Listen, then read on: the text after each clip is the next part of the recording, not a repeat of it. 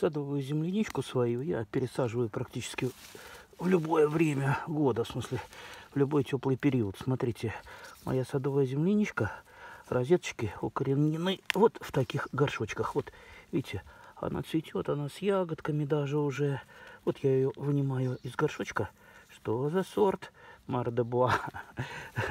То есть это я а, как раз в таких горшочках мне ее привезли. Я ее размножаю. Вот, вынул.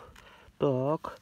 И сейчас я ее просто вот а, выну из этого горшочка и на постоянное место вот тут вот продлю рядок. Вон, видите, я там ямку приготовил и посажу. А этот горшочек, наверное, тут же я на это же место и усик э, там же укореню. И вот таким вот образом достаточно быстро я размножаю свою садовую землянику э, сортовую э, и расширяю сортовые посадки. Вот очень простой способ вот с таким горшочком. Самое главное, такая рассада, она никогда не перебаливает.